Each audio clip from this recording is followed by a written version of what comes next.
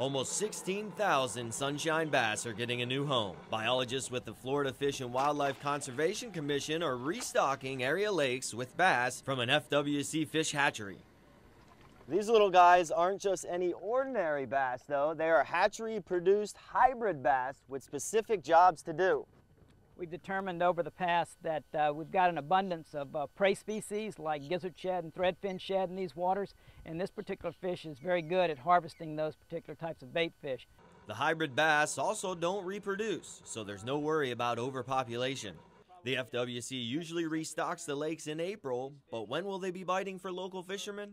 They'll grow and supply a particular type of uh, sport fish for anglers in the winter months. You can find them in Lake Osborne, Lake Catherine, Lake Clarke, Lake Pine, and Lake Ida. Reporting from Lake Catherine in Palm Beach County, James Wieland, News Channel 5.